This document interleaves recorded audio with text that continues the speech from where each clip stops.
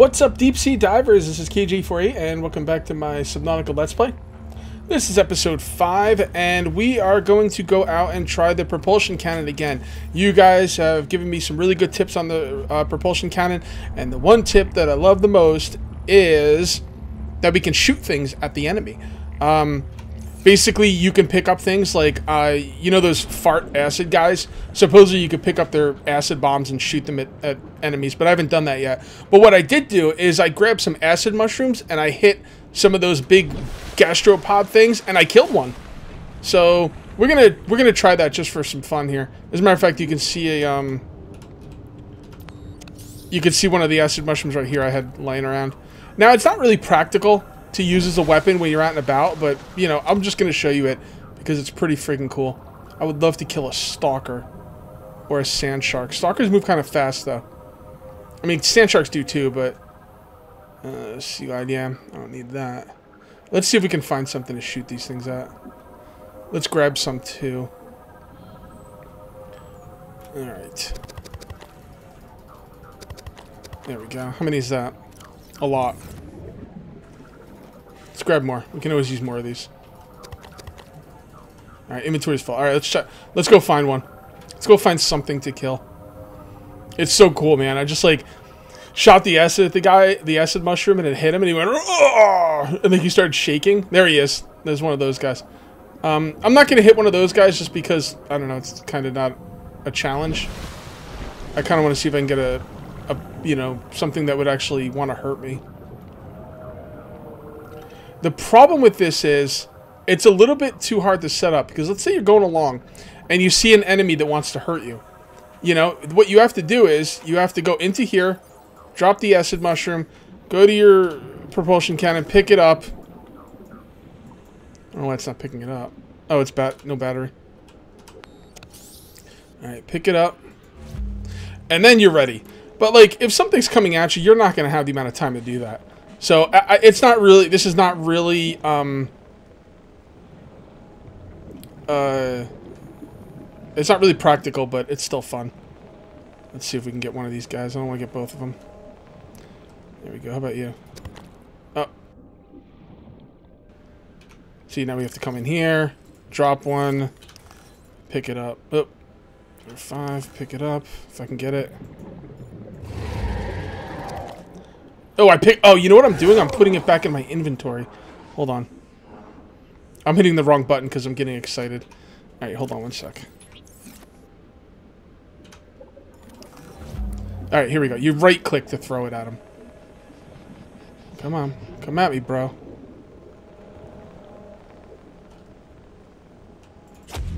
See? Oh! That pissed him off. Actually, he, I don't think he was running at me. I think he was running away. But you gotta hit him a few times. It's just not really a good weapon, but it's pretty interesting. I find it interesting anyway. Let's come over here and get some oxygen. And let's try and get him again. So I think if you put the propulsion can in your hand and then drop the thing, you could get it a lot quicker. Drop, grab. Oh, okay, that's not too bad. That's not too bad, but then you're really slow. And I mean really slow, because you can't put the thing away. Yeah, I won't be using it, but it's pretty interesting. What I want to get is the stasis rifle. The stasis rifle is so much better.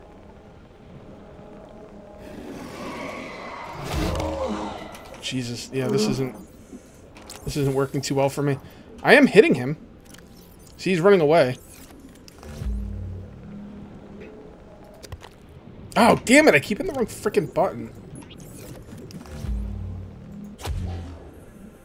Did I hit him? I can't tell. Alright, so I could pick the thing up pretty easily.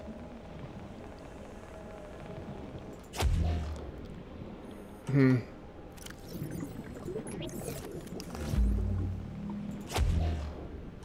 Nope. The problem is you have to let him get too close, and I don't feel comfortable letting him get that close. Oh, I got him that time. He might be dead. He's dead. Oh, own, sucker! You're gonna die too, you son of a bitch.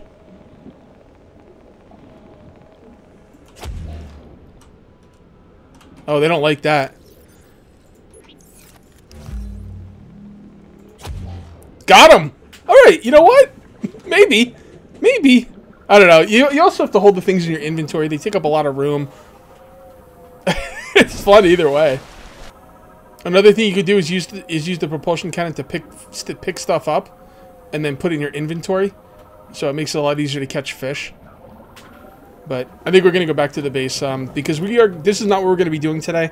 We are going to actually go to the grassy plateau to look for um, fragments, specifically uh, Seamoth fragments. Okay, those batteries will have to do because we're gonna get going.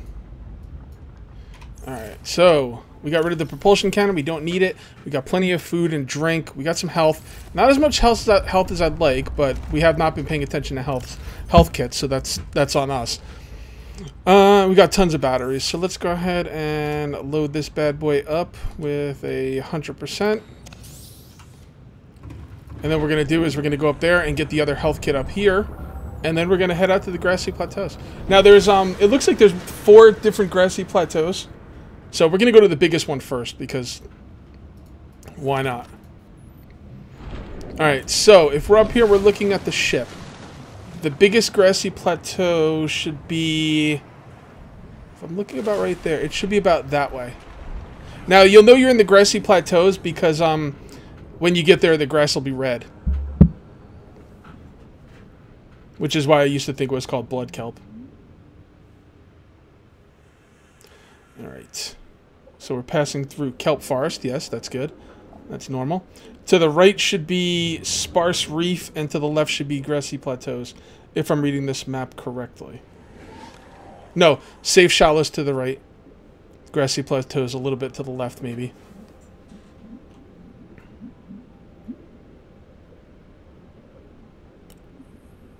That is grassy plateaus.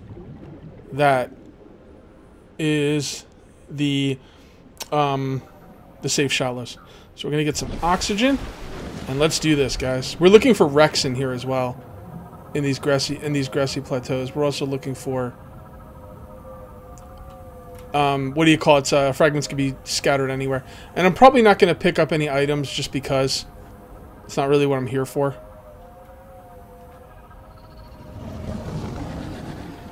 Okay, we got some sand sharks on our ass.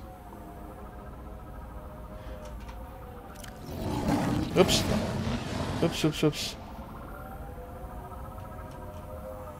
Come on up here. Hopefully they won't follow me to the surface. Yeah, they don't like to follow you to the surface.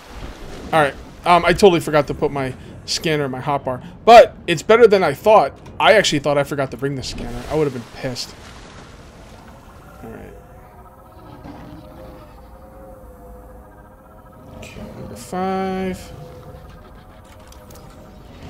Modification station is one of the things we do want. If we can live. Got it. Let's go. Yes, modification station is one of the things we wanted, by the way. It's the second thing we want the most after the Seamoth. It's down here. Oh, that no, we don't want to go down there. I think that's the underwater mushroom biome thingy or whatever it's called. I forget what it's called. I'm not really going to worry about it right now. I'm going to stay focused.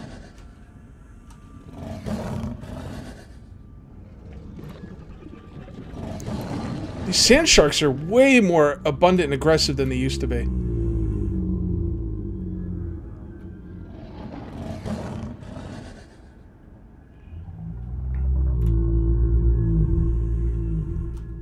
What's that? Oh, it's an egg. Don't care about eggs.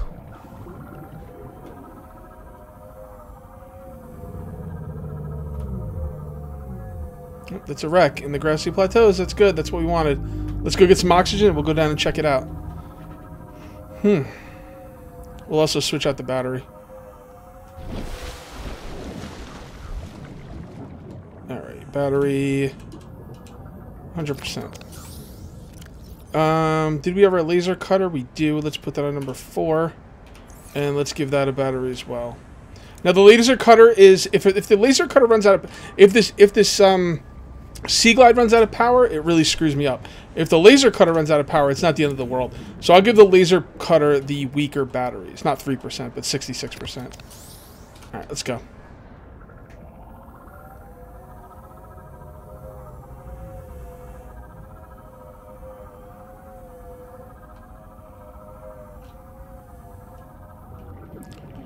Somebody said you could open up certain doors with the propulsion cannon or something, but... I forgot to bring the propulsion cannon, so. Alright, laser cutter it is. Hopefully we don't get bothered here.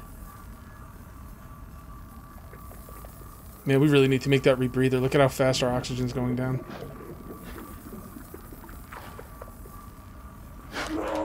Freaking things.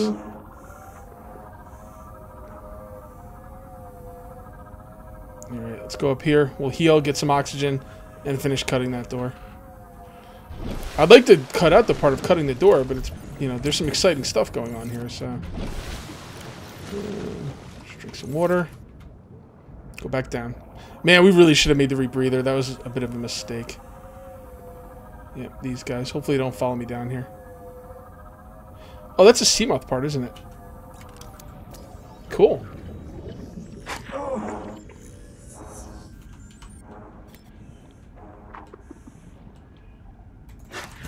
Got him. Anybody else want to tangle with me? I bet you there's more Seamoth parts. Sweet.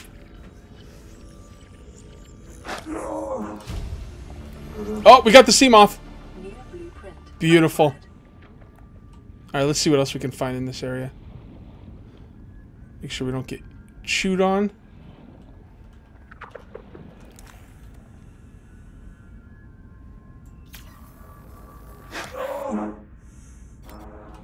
You're fucking dead. Piss off. You want to dance? You want freaking dance, you punk ass bitch? Sorry about the language, but these guys are freaking aggravating me. They all dead? Well, three of them are dead. I don't know about the rest of them. Still got to get that rebreather for sure. I can't believe I didn't make the rebreather. That was a that was a mistake. Because when you get down that low, I'm going to say this again. I know I've said this in past videos, but when you get down that low, um, you start using up more oxygen. So.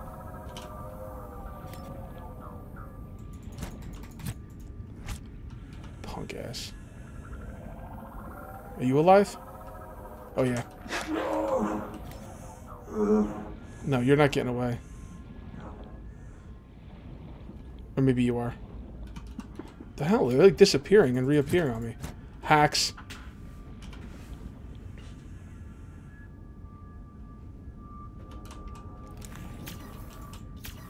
There we go. This thing, this, uh, this welding torch or whatever it is, uh, laser cutter, this thing eats up power like nobody's business, man. Like, I think you could get through two doors on a battery, maybe. Come on. Almost there, guys. Almost there. We got the Seamoth, though. It's already been a good day. Seamoth is probably the most single important item in the entire game. It opens up everything. Let's go get some oxygen, and then we'll come back. The thing I hate about these wrecks is there's not usually fragments inside the wrecks. They're not ones that I care about. They'll be like, like tables and chairs and stuff that I don't really give a shit about. Like, the really good good stuff is not in the wrecks, which I find kind of strange. There he is. That guy's no problem. He won't bother us. He is our friend. It is our friend. He, she, it is our friend. Okay, let's see what we got in here. Put this away. Nope, nothing over here. Nothing up there. We can open this.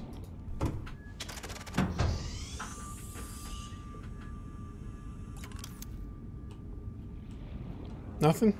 See? There's never anything in here. Like, these look important. Why can't I scan those? Oh, look at this. I didn't even notice that.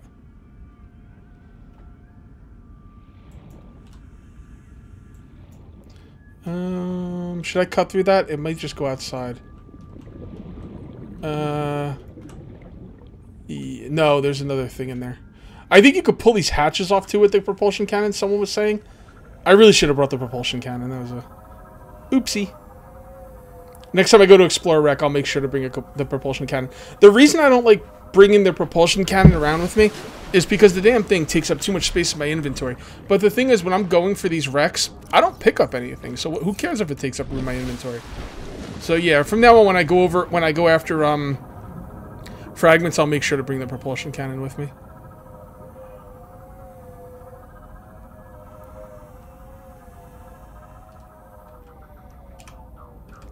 There's probably nothing good in here, but we'll cut through it anyway.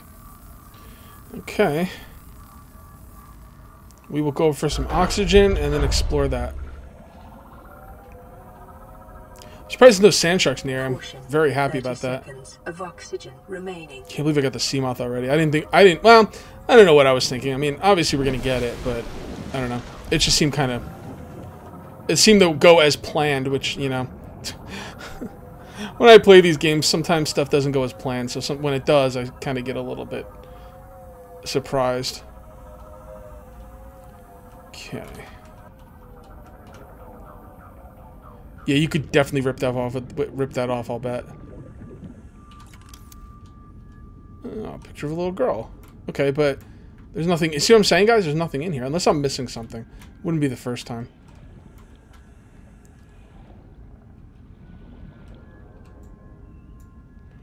No. No, no, no, no. There's nothing in here. Alright, let's look around, make sure there's nothing else on the ground in the area that we can scan.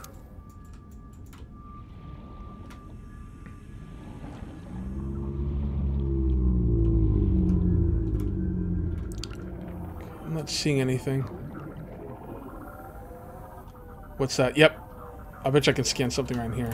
That looks like something I can scan. But it's not. Oh, there we go. Modification station fragment hidden. Scan it, bro.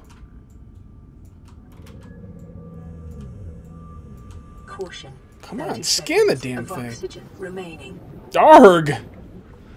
Is that the last piece I need for the modification? If that's the last piece I need for the modification station, this has been an incredibly, uh, uh, just an incredible success. Because those are the exact two things I wanted to get today. Unless I drowned right now. Emergency. Ten seconds of oxygen remaining. Shit, this thing's out of ox this thing's out of power, that's why I'm going so slow. Well, I'm not gonna change the battery now. Okay, that was close. See what I mean, man? If you let that thing run out of power, especially if you don't notice it ran out of power, it really screws you up.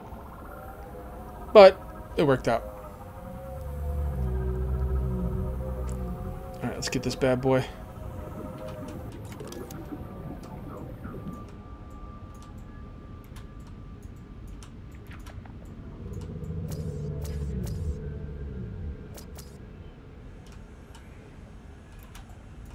Come on. There we go. Beautiful. Beautiful. Oh, it's so good. So good. New blueprint acquired. See if there's anything else in the area before we head back.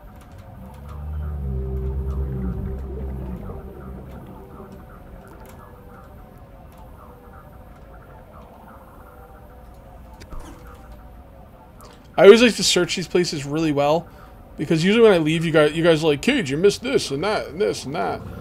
So, all right, let's start heading back. All right, so we got the uh, modification station and the Seamoth um, fragment. So what we're gonna do tomorrow or next video is I am going to make the upgraded flippers. Uh, I'm gonna upgrade these uh, fins so I can go faster, so I can stop carrying this thing around in my inventory. Um, I love the Sea Glide, but it's just too damn big to make it to justify it. Um, I think personally, in order to make the Seamoth more palatable, I think one of these O2 tanks should fit inside the Seamoth. How cool would that be? Because the Seamoth is, is still bigger. The Seamoth's still a little bigger than the O2 tanks, but if you could put an O2 tank in there, you could save this amount of this amount of slots, and that makes the Sea Glide all the better. I, th I think that would be a cool idea because right now, um, the Sea Glide, sorry, the Sea Glide, because uh, right now the Sea Glide is kind of not really great. It just takes up too much room. That's all. It just takes up too much room, and the fins are pretty pretty fast. Not as fast, but fast. Like, pretty close. What's happening to him? I. Anyway, um... So yeah, we'll make the fins.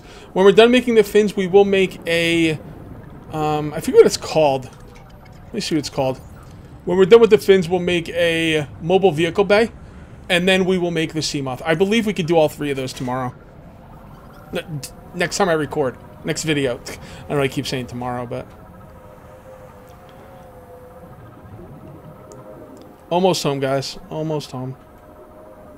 By the way, um, this, uh escape pod is supposed to be drifting. Um, a lot of people say you fix the escape pod, and I said, why would you want to fix it, fix the escape pod? What does it do for you? Because you could take the welder and fix this little life life pod system, and then the, the um this the um, the life pod will stop drifting.